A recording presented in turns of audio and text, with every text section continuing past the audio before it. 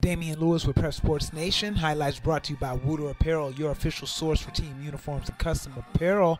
High school wrestling, the Blessed Trinity Titans taking on the Jonesboro Cardinals.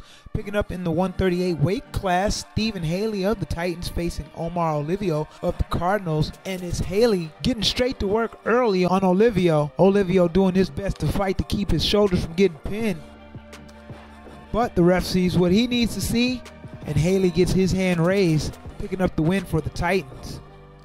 152 weight class, Nick Anderson for the Titans, Javon Thomas Conley for the Cardinals. And early on in this one, these two sizing each other up, just kind of getting the feel for each other.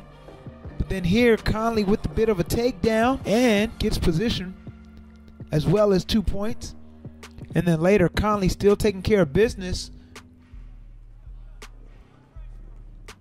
Trying to roll Anderson over but it's Anderson with the defensive move to end up on the offensive side of things. And just like that, he's going to get Conley's shoulders pinned to pick up the win and get his hand raised.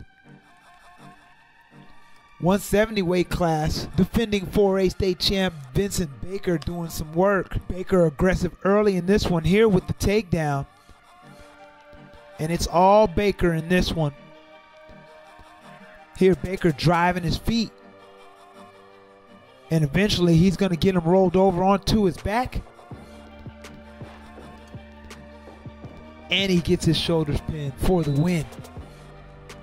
Jonesboro going to pick up a couple of victories here, though. Reginald Potts for the Cardinals.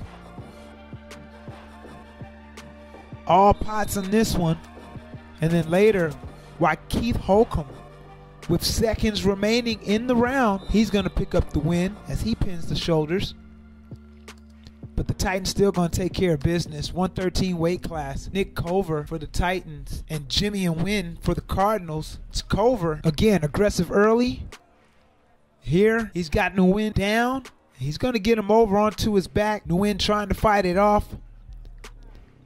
Ref looking, looking, looking. And there it is. Cover gets the win, and so do the Titans 48 22. I'm Damian Lewis from Prep Sports Nation.